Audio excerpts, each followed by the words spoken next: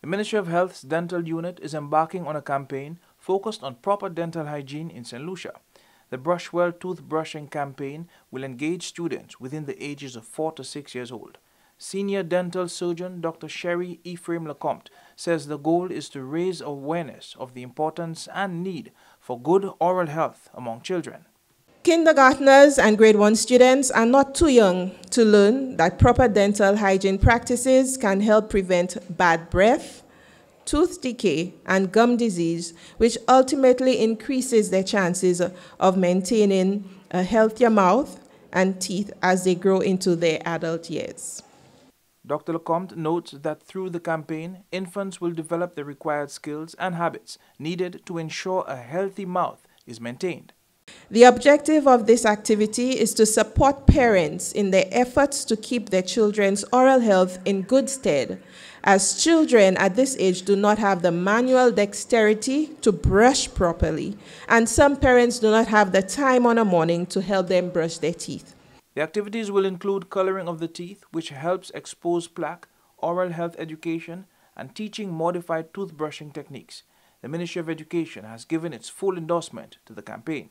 In the past, collaboration such as this has led to lasting effects in the lives of our students.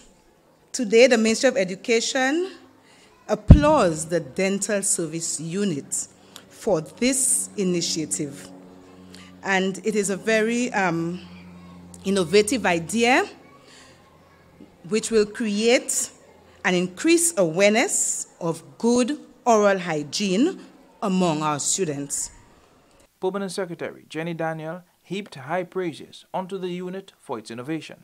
Now, I want to pause a little to place a special emphasis on the fact that we are proud of, and me in particular, because permanent, as permanent secretary of the ministry, um, I must say that I don't feel leaned upon um, to any great extent by the dental services unit. It's almost as though they don't exist, but very quietly they trudge on and they make landmark very, very, very um, inspiring and impactful um, initiatives and achievements in, insofar as dental health is concerned, and they deserve a round of applause.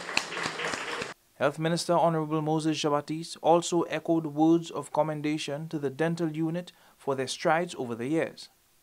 The Brushwell Toothbrushing Drive will incorporate an island-wide coordinated effort with other units of the Ministry of Health and the full support of the Ministry of Education. All school children in the kindergarten and grade one classes will have the opportunity to be engaged and participate at the same time, as the tagline says, brushing together for life. The Brushwell Toothbrushing Campaign, which will be undertaken at schools around the island, is sponsored by the International College of Dentists. Director of Global Operations, Chelsea Segren, says the ICD is extremely proud to be part of the initiative. We are confident it will reach its goal of raising awareness of effective toothbrushing techniques to foster better oral hygiene practices and overall health in the children of St. Lucia. Dr. Lecomte was recently bestowed a prestigious fellowship from the ICD for her continuous efforts in the field of dentistry. The ICD, through their Global Visionary Fund, continues to provide support for projects such as the Brushwell Toothbrushing Drive.